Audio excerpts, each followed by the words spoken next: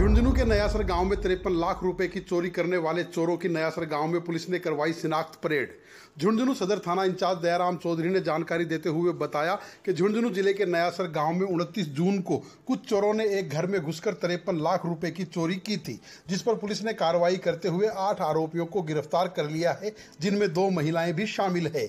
आज सदर थाना इंचार्ज दयाराम चौधरी के नेतृत्व में सदर थाना पुलिस ने नयासर गाँव में चोरों की शिनाख्त परेड करवाई, जिनमें सैकड़ों की संख्या में ग्रामीण भी चोरों को देखने के लिए वहाँ पर आ गए। सदर थाना इंचार्ज और उनकी टीम का नयासर गाँव के ग्रामीणों ने फूल माला पहनाकर उनका स्वागत सम्मान भी किया और बताया कि ऐसे ईमानदार पुलिस अफसरों की आज भी देश को ज़रूरत है। गौरतलब है कि झुंझुनू के नयासर गाँव में उनतीस जून को एक घर में घुसकर अज्ञात चोरों ने तिरपन लाख रुपए की चोरी की वारदात को अंजाम दिया था, जिस पर पुलिस ने कार्रवाई कर आरोपियों को गिरफ़्तार कर लिया और आरोपियों के पास से करीब 25 लाख रुपए भी जब्त कर लिए।